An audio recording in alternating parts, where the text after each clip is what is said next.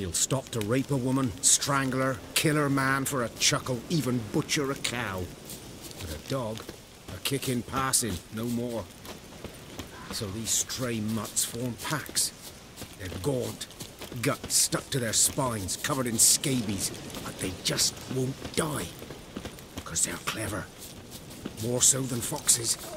And they Too late. attacked another one. Thank you.